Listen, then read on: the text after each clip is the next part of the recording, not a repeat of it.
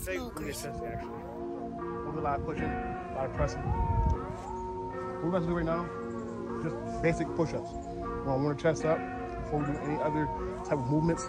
And uh, that's what supposed to do. in every workout you do, well, I'm already warmed up, to be honest. Uh, just ran a lot of water. I'm going to show you guys the water after I get done with this.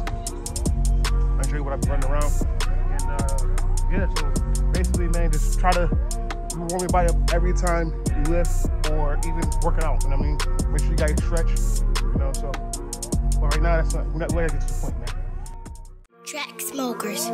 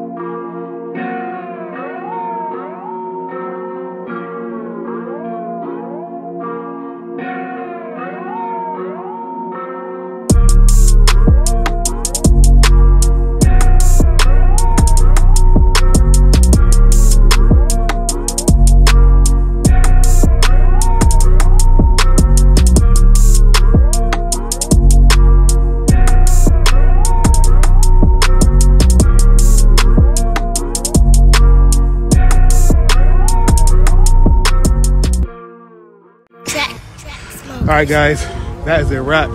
And man, hope you guys enjoyed that video. Put it in your work, workout routine. That was lit, man. I literally dropped about 700 calories.